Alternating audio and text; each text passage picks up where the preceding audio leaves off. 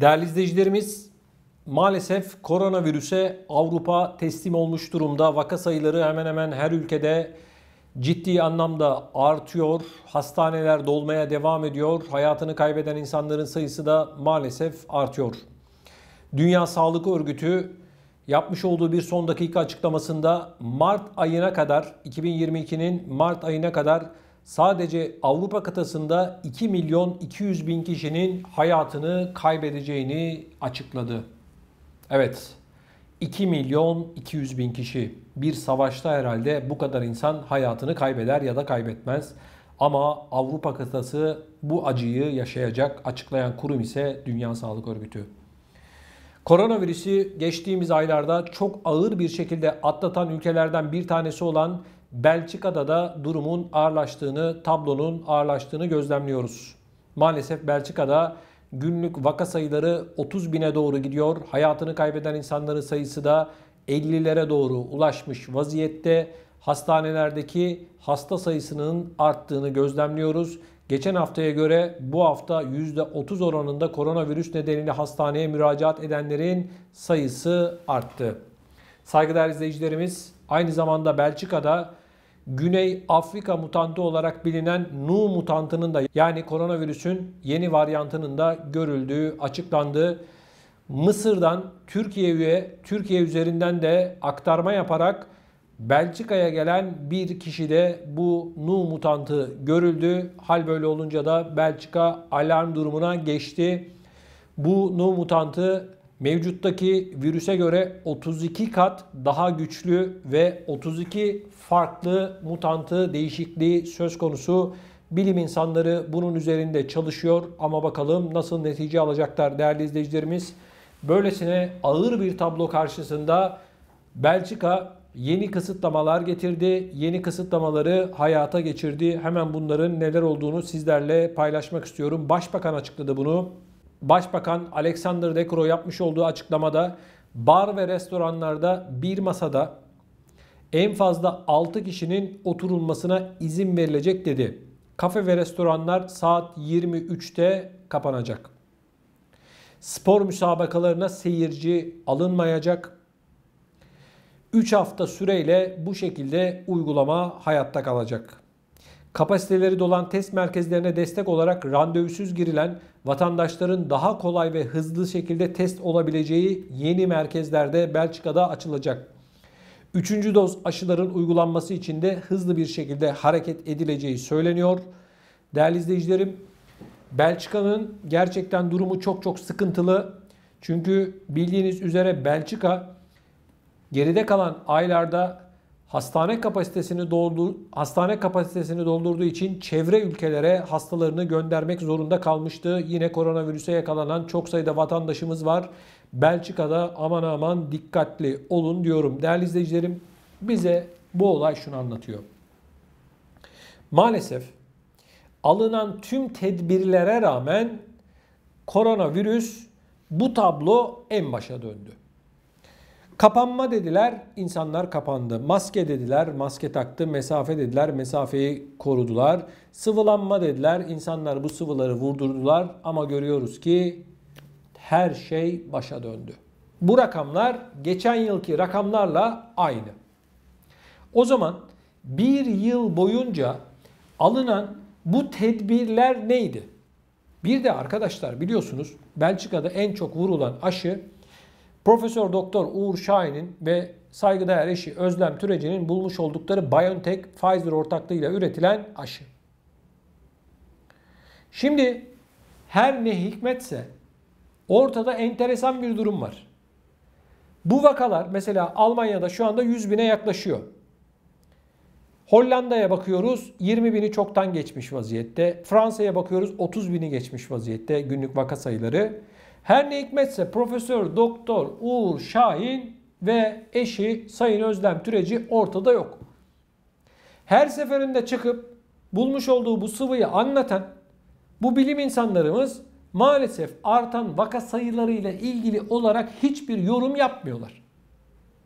Yaptıkları tek şey Şu mutanda karşı etkili, şu kadar üreteceğiz, Afrika'da fabrika kuracağız, şurada fabrika kuracağız, şu kadar milyar doz üreteceğiz, üreteceğiz, yapacağız, yapacağız, edeceğiz, ödeyeceğiz.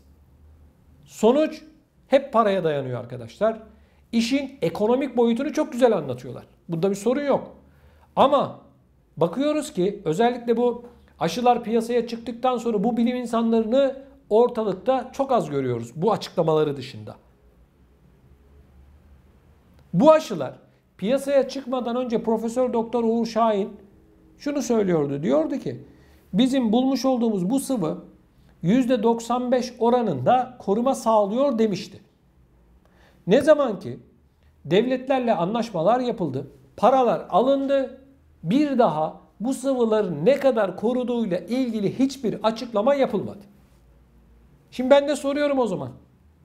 Diyorum ki anlaşmalar, paralar tamam bunlar bir kenara. Bu kadar tedbire sıvılanmaya rağmen niye bu kadar vaka sayısı artıyor? Şimdi yeni mutant diyorlar ya. Şimdi yeni mutantta 3-5 kişi yakalandı daha hani Belçika'da. Ya da diğer ülkelerde. Olay yeni mutant değil ki. Yaklaşık 1,5-2 yıldır hayatımızda olan bu koronavirüsle ilgili olarak siyasetçilerin parmağında biz adeta oyuncak haline geldik. İnanın böyle. Aç kapa oyunu oynuyorlar şimdi. Açtık, açıyoruz, kapattık, kapatıyoruz. Şu önlemleri aldık, şunu yaptık, bunu yaptıktan başka hiçbir şey söylemiyorlar aslında. İşte anlatıyorum bak rakamları veriyorum. Geçen seneki rakamlarla aynı. O zaman bu alınan tedbirler neydi arkadaşlar? Gerçekten çok merak ediyorum. Bu tedbirler ne? Şimdi Belçika'da insanlar önümüzdeki dönemlerde daha büyük sıkıntılar yaşayacak. Dünya Sağlık Örgütü açıkladı. Dedi ki Mart ayına kadar, önümüzdeki Mart ayına kadar Avrupa kıtasında 2 milyon 200 bin kişi ölecek dedi. Bunu ben söylemiyorum. İsviçre'de açıklama yapıldı. E tabloya baktığımız zaman şunu görüyorum ve anlıyorum arkadaşlar. Daha da sıkıntılar olacak. Bir de diğer bir önemli soru. Bu sıvılanmalar, bu işte kapanmalar daha ne kadar sürecek? Hayatımızda daha ne kadar bu korona olacak? Bununla ilgili olarak hiç kimse cevap vermiyor arkadaşlar. Maalesef insanoğlunun kaderi özellikle bu siyasetçilerin elinde. Bilmiyorum. Siz ne düşünüyorsunuz kıymetli izleyicilerimiz bu konu hakkında? Lütfen görüşlerinizi videomuzun altında bulunan yorum bölümüne yazarak bizlere iletin. Yani bindik bir alamete gidiyoruz kıyamete. Tam da öyle bir noktadayız şu anda. Koskoca Avrupa çaresiz bir şekilde vatandaşlarının ölmesini bekliyor. Üzülerek anlatıyorum ben bunları ama tablo bize bunu gösteriyor. Hani bitiyordu? Ne oldu? Hani kontrol altındaydı? İyi ki kontrol altındaymış. Bir de kontrol altında olmasa kim bilir ne olacaktı? Günlük vaka sayısı herhalde 1 milyon olurdu. Hastanelerde yer yok diyorlar. Kardeşim 1,5-2 yıldır bu koronavirüs bizim hayatımızda. Niye önlem almıyorsunuz? Niye yeni hastane yapmıyorsunuz? Niye hastaneler yatak sayısını, kapasitesini niye arttırmıyorsunuz? Ben onu bunu bilmem kardeşim. Sen ülkenden başka bir ülkeye hasta gönderiyorsan sende bir eksiklik var demektir. Belli olay. Geçen yılda aynısı oldu. Ya, o zaman kapasiteyi niye arttırmıyorsun? Gerekirse başka ülkelerden sağlık çalışanları getireceksin, transfer edeceksin, altyapını kuracaksın. İki yıldır ya, iki yıldır neredesiniz siz? Ne iş yaptınız? Gerçekten çok merak ediyorum. İki yıldır Belçika ya da diğer Avrupa ülkeleri ne yaptı? Hollanda çıkıyor başka bir şey söylüyor. Fransa çıkıyor başka bir şey söylüyor. Almanya başka bir şey söylüyor. Hele Almanya Sağlık Bakanı Jens Spahn var. Çıkmış ne diyor biliyor musunuz? Yıl sonuna kadar bu aşıları ya vuracaksınız ya da yıl sonuna kadar ya bu aşıları vuracaksınız ya da öleceksiniz diyor. Böyle bir açıklama olur mu arkadaş? Böyle bir şey olabilir mi? Zaten ben şunu anlamıyorum. Hani bu sıvıları vurdurmak zorunlu değildi? E bu ne demek bu açıklama? Sen bunu olacaksın ya da öleceksin. Böyle bir şey olabilir mi?